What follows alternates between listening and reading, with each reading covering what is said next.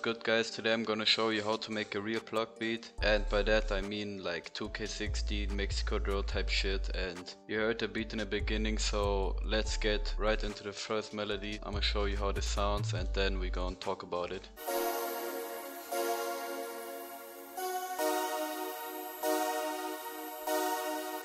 Yeah, pretty simple. So what I did is did a minor chord and then I pitched this up 5 semitones. This is like very basic plug trick but with these beats bro you gotta keep it simple and after the pad I did this arpeggio melody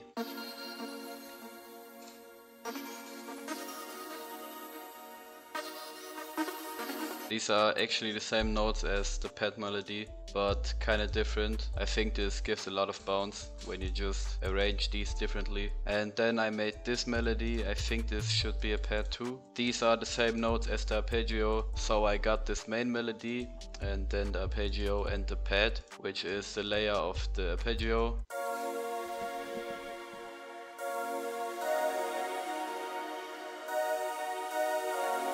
Nothing to explain here, just the same notes. And then I went to Purity and I made this melody.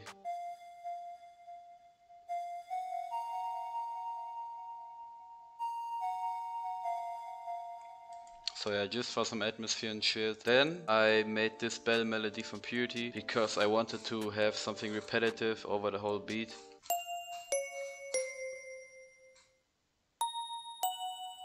I continued with another sound from Purity.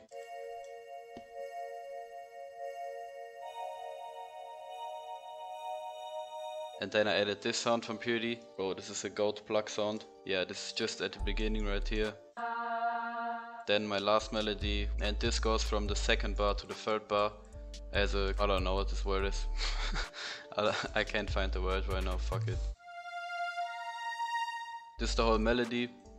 If you want this loop you can hit me up on IG or just comment down under this video. But I'm gonna drop a loop kit on Saturday anyways and this loop will definitely be in it so make sure to subscribe to the channel so you don't miss it.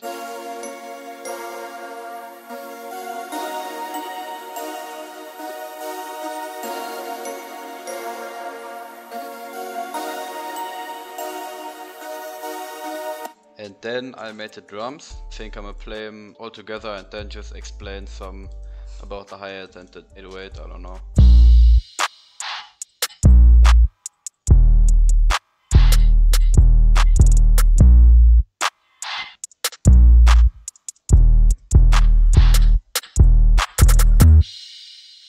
So yeah, starting off with the hi-hat, I just made something bouncy and easy, not too many hi-hat rolls or any crazy shit. I feel like this hi-hat pattern has very much space, so it creates a lot of bounce and I really fuck with that, so kept it simple. And for the 808, just stayed in a root note and then at the end changed the pattern up a bit and made a little transition. And then the most important thing is this little effect and this is the mute effect.